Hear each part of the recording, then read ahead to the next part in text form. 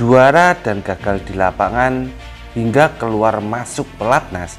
Sepertinya udah nggak asing dan bukan hal yang mengejutkan bagi para pemain bulu tangkis Indonesia. Dengan kesaklekan pelatih ditambah tuntutan PBSI untuk selalu memenangkan kejuaraan ngebuat nasib setiap pemain pun dipertaruhkan entah mereka di masa keemasan maupun di usia yang tak lagi muda hal itulah yang mungkin saat ini dirasakan oleh seorang Gloria Emmanuel Wijaya yang selalu dipertanyakan penampilannya namun gak pernah gagal dalam memilih berondong di lapangan.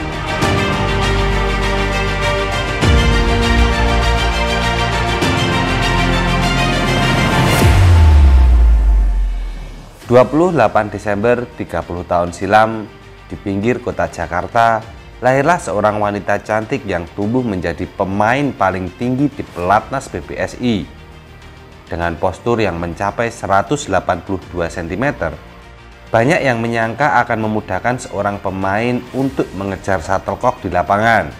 Namun hal ini ternyata berkebalikan dengan seorang Gloria Emmanuel Wijaya.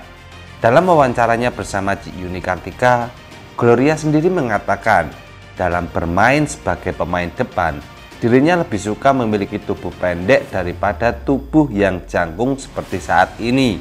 Posturnya yang tinggi ngebuat dirinya harus menekuk lebih bagian lututnya agar dapat menyegat bola cepat dari lawan.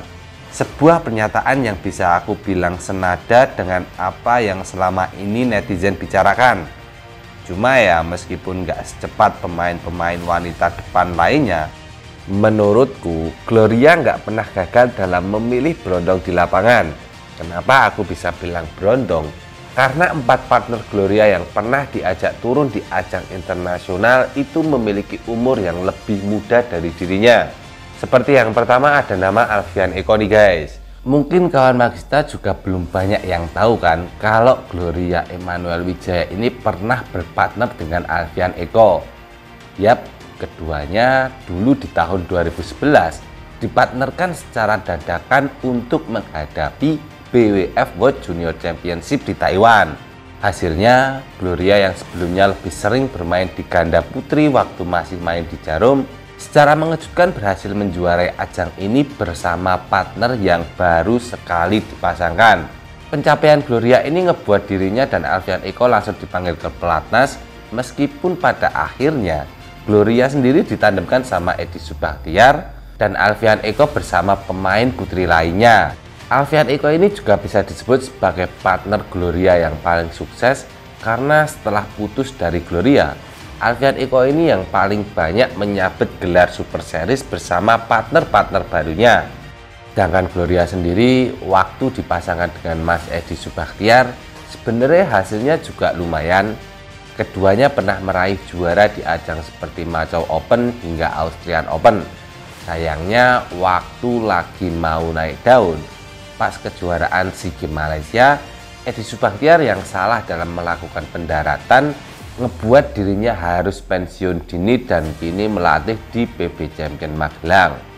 Dari bersama Mas Edi tadi, Gloria yang pas diwawancarai sama Cik Yuni Kartika ngaku kalau waktu Mas Edi Subakter ini cedera, dirinya ini nggak ada pattern lain. Akhirnya menggandeng seorang Hafiz Faisal. Bersama Hafiz juga sekali lagi keduanya bisa aku katakan lumayan ya guys karena ya bersama Hafiz inilah Gloria ini bisa merasakan podium juara Super Series tertinggi berlevel Super 500 tepatnya di Thailand Open 2018. Ini merupakan gelar tertinggi dan terbaik Gloria hingga mengantarkan dirinya menjadi pemain mixed double nomor 6 di dunia.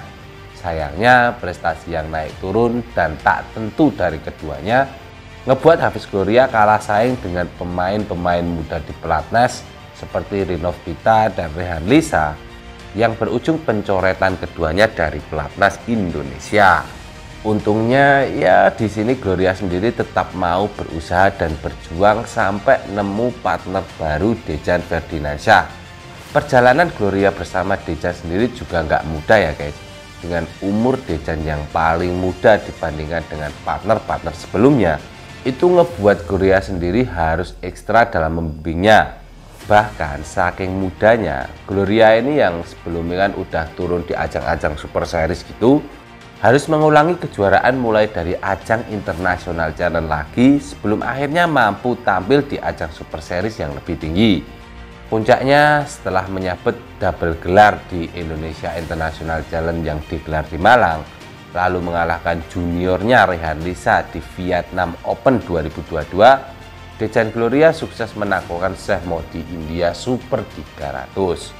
So, dari story perjalanan Gloria Emmanuel Wijaya, dapat aku simpulkan kalau sebenarnya pemain ini tuh sangat berpotensi, cuma ya mungkin kurang beruntung aja. Pasalnya selain karena sering gonta-ganti partner kayak yang aku ceritain tadi, selama di masa karirnya, Nama Gloria Emmanuel Wijaya juga selalu berada di bawah bayang-bayang pemain ganda campuran terbaik Indonesia. Seperti dulu waktu masih ada Cik Butet, itu langsung keluar nama Cik Debbie Susanto yang menjuarai All England dan berlanjut langsung keluar lagi nama Melati Daiva itu ngebuat nama Gloria Emmanuel Wijaya sendiri malah menjadi ajang tarian jari BL Indonesia di sosial media. Nah, pas nama-nama tadi itu mulai surut, barulah Gloria yang kini berstatus sebagai pemain profesional nyatanya tetap dipercaya untuk tampil di skuad Garuda dalam memperkuat tim Indonesia di ajang Sudirman Cup.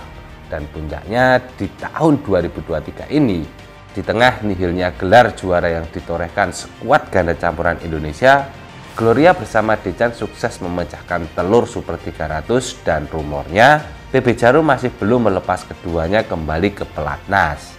Lantas, dengan usia yang akan menginjak kepala tiga di akhir tahun nanti, mampukah Gloria Emmanuel Wijaya membimbing seorang Tijan Ferdinandsyah menjadi mixed double yang paling ditakuti di dunia?